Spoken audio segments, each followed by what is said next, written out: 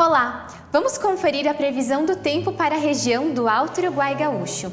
Nesta quinta-feira haverá o predomínio do sol na região e ainda faz muito calor no período da tarde com sensação de abafamento. De acordo com a Climatempo, não há previsão de chuva. A atuação de uma massa de ar quente e úmida na região sul do país é responsável por provocar essas alterações do clima. Vamos ver os dados? Aqui em Erechim, a mínima será de 18 graus e a máxima chega a 30. A umidade do ar ficará em torno de 36% e não há previsão de chuva. No município de Carlos Gomes, a mínima será de 21 graus e a máxima chega a 34. E entre Rios do Sul, a mínima será de 21 graus e a máxima também de 34. Mais informações e outros detalhes sobre a previsão do tempo você acompanha durante a nossa programação.